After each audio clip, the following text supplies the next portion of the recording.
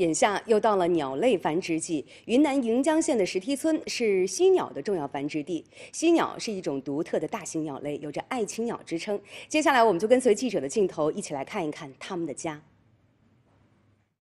在云南省德宏州盈江县石梯村中缅边境的密林里，盘山而上会邂逅一种珍贵独特的大型鸟类，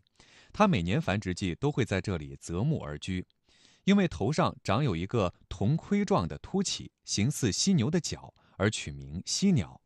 中国的犀鸟大多生活在云南西部和南部，以及广西南部，有“爱情鸟”之称。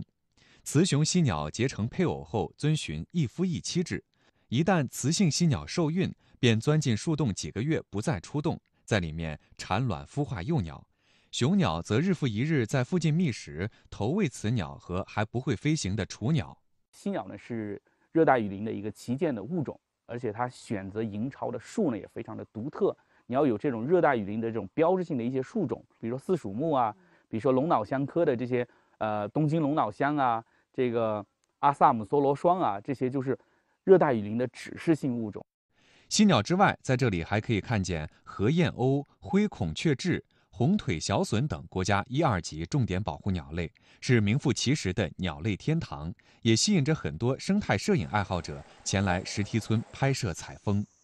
那透过我们的镜头呢，我们可以记录一些不为人知的动物、植物，包括昆虫，唤醒大家对这个地球的生态的一些保护啊，这种的。这些被村民称为“摄影老师”的特殊游客，往往一进山就要在这里住上十天半个月。